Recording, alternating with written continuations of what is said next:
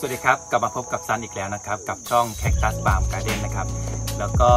พบกับบรรยากาศสวยๆ รอบบ้านนะครับ ที่นี่เป็นสวนปาล์มนะครับ วันนี้ก็จะมารีวิวบอนสีเช่นเคยนะครับ แต่ก่อนจะไปรับชมก็ยังไงก็ขอขอบคุณทุกยอดวิว ทุกยอดไลค์นะครับ ที่ส่งกำลังใจมาให้ช่องของซันด้วยนะครับ ขอบคุณมากจริงๆนะครับ รีวิวไป 2-3 ตัวแล้ว แล้วก็ยอดวิวก็กำลังจะ ไต่ระดับขึ้นเรื่อยๆนะครับ ซึ่งไปเห็นช่องอื่นที่เขาทำพี่ๆที่เขาทำก็ค่อนข้างสูงนะครับ ยังไงก็ขอบคุณทุกคนด้วยนะครับ โอเคครับ เดี๋ยวเราจะเริ่มรีวิวกันเลยนะฮะไม้ที่เราจะรีวิวในวันนี้นะครับ ชื่อว่านพเก้านะครับ ให้ดูลักษณะต้นนะครับ ตัวนี้กำลังกระแสแรงมากนะครับนพเก้านะฮะ อันนี้เรายังไม่ได้เป็นต้นใหญ่นะ ได้เป็นต้นเล็กๆมานะครับ กว่าจะหามาได้นี่ก็เลือดตากระเด็นเหมือนกันนะครับ ตัวนี้เรามาดูกันใกล้ ๆนะครับนพเก้าวนะครับ เขาจะเป็นไม้ใบด่าง แล้วก็มีป้ายนะครับ เป็นเม็ดสีแดงๆนะฮะที่อยู่กระจายทั่วใบนี้นะครับ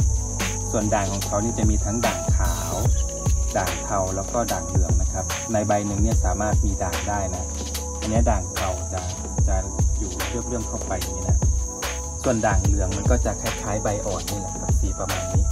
อันนี้เป็นต้นเล็กอยู่นะครับ ด่างก็เลยยังไม่เยอะเท่าไหร่นะแต่ถ้าเป็นต้นที่โตเต็มที่แล้วอะด่างเขาจะสวยมากนะใบเขาจะแบบมีหลายสีในหนึ่งใบ แล้วก็มีเม็ดแดงๆอย่างเงี้ยนะครับกระจายทั่วใบนะครับ สะดือก็จะออกแดงๆอย่างนี้นะครับ ก้านของเขานี่ จะมีแบบจุดเลื่อๆสีดำอมน้ำตาล หรือน้ำตาลอมดำประมาณนี้นะทั่วทั้งก้านนะครับ ลักษณะใบของเขาเนี่ยจะเป็นเอกลักษณ์มากก็คือจะเป็นใบหยิกนะฮะหรือว่าเป็นแบบลูกคลื่นอย่างเงี้ยนะครับ เป็นคลื่นคลื่นใบของเขาจะเรียวยาวนะฮะผมชอบเม็ดสีแดงๆนี้มากเลยที่มันกระจายกระจายอยู่ทั่วใบนะ ไม่แปลกนะทำไมราคาถึงแรงมากนะฮะครับสำหรับนกพเก้าต้นนี้นะครับ เราก็ได้มาในราคาประมาณนะฮะประมาณ 3,500 บาทนะครับ เป็นต้นที่ไม่ใหญ่นะครับ เป็นใบเล็กๆนะครับ แต่ว่าเขาก็โตเร็วนะฮะตั้งแต่ได้มาเนี่ยก็มีใบใบใหม่แตกออกมานะครับ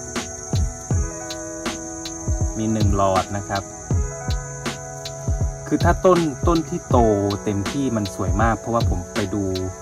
ไปดูในรูปภาพของพี่ๆนะครับ ก็สวยมากจริงๆนะฮะแบบเลอค่านะครับเลอค่าดูดิบางใบมันจะแบบออกขาวไปครึ่งใบอย่างเงี้ยฮะแล้วก็มีป้ายแดงๆเต็มเป็นเม็ดแดงๆเต็ม แล้วมันใบใหญ่ด้วย ถ้าถ้ายิ่งใบใหญ่ยิ่งจะสวยนะครับ เช่นเคยนะครับการรีวิวในช่องของผมเนี่ยจะเน้นต้นไม้จริงนะครับ ก็